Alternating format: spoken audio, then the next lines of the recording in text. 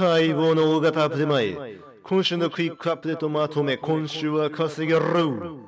はいどうも皆さんこんにちは。こんばんは。パパテラです。今週のクイックアップデート豪華景品が来ています。高級車オータークが景品となっています。11月のね19日から26日の17時頃までの1週間となります。そして、えー今週ね、えー割引いい車両がありますね。高級車レジェンダリーモータースポーツからまずはトラックス。これカジノアップデートの時に追加された。かっこよくて結構ねそこそこ速いトラックスという車両、えこれが割引となっています。さらに、えーパテラの中でおすすめな、えプロジェン T20 っていうね、えウィングが可変ウィングといって走っているとね、えふっと上に上がるっていうね、え車両。この T20 が割引となってます。これ古い車両なんですがかなりいいし車体のペイントによってはすごく綺麗にね滑らかなのですごく綺麗に見えます。では、それ以外のね割引車両もう1台ね、今週あります。南サンアンドレアスから、えー日本車両のねモデルとなっているシビック。まるでシビックのすごいという車両が割引となってますので、えーぜひねこれも、え検討してみてください。ではそれ以外のね割引いろいろね、えーちょっと見ていくんですけれども、えー先頭車両、えー今週割引は確認が、えできませんでした。南サンアドレスもこれ以上はなしです。さらに、えそれ以外の部分ですね、え例えばアリーナとか、えアリーナの車両そういったものも割引は、え今のところ確認は取れていません。ではね何が一体割引なのかというと飛行機も割引ではなく今週はね船。これ全種類ですね。船の全種類が割引となっていました。でギャラクシークルーザーもおそらく34割ぐらいね割引となっている状態です。このギャラクシークルーザーを持っていると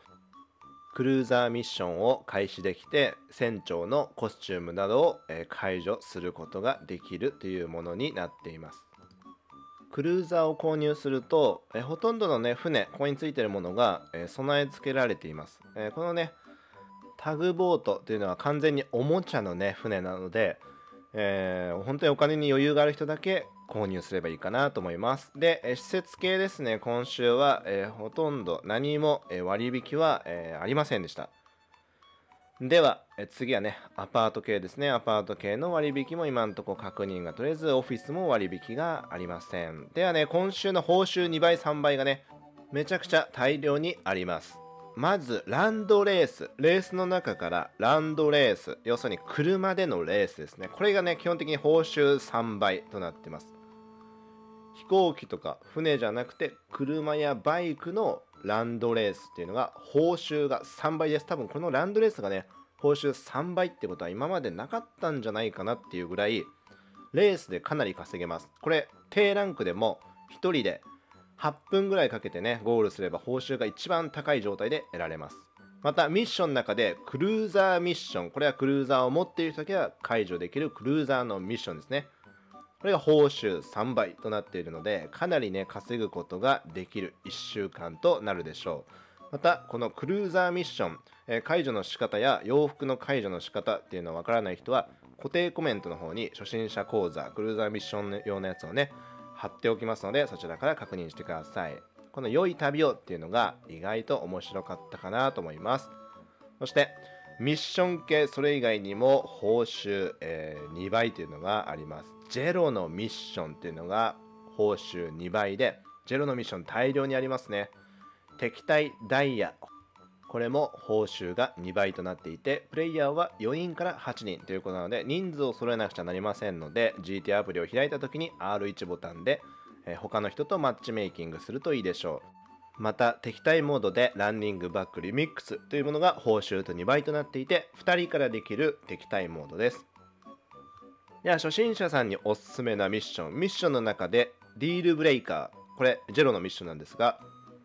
バグなのか仕様なのか分かりませんがこのミッション中に使った玉代は一切かからないっていうねめちゃくちゃ初心者さんお金ない人には優しい、えーミッションとなってます。またロスサントス側の集会これは低ランクの頃によくやったと思うんですがこれが報酬3倍ということでね敵を倒しても報酬 RP も3倍なんでかなり、えーいいんじゃないかなと思います。では今週報酬3倍のランドレース。例えば人気があるのはオン・ザ・ゴーというものをよくライブでやっています。大勢でレースをやれば上位の人は報酬が上がっていく仕組みとなっています。またレース自体はね1人でプレイできて8分が限度額となります。上限となります。なのでレース自体を2周でも3周でも1周でもいいので8分ぐらいでねクリアすると一番高い報酬を得られるので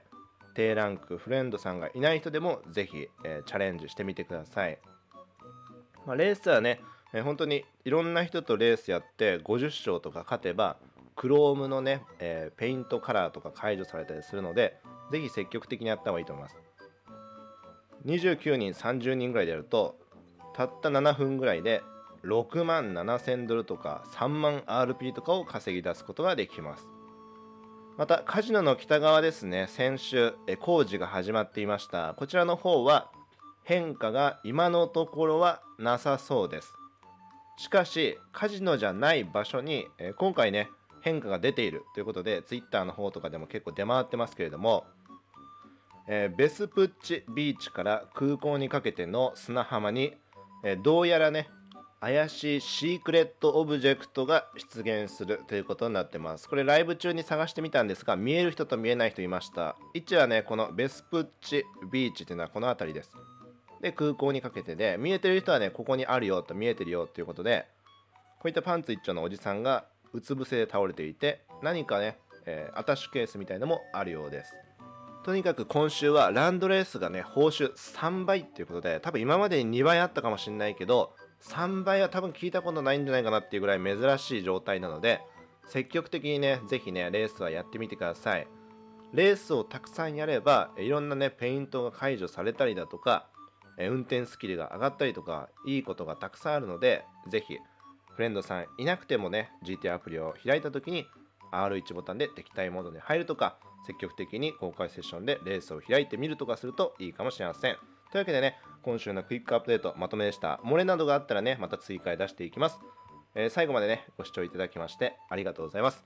チャンネル登録と高評価ボタンよろしくお願いします。レースは30人ぐらいでやるとかなり報酬が高いのでかなり稼げる週となるでしょう。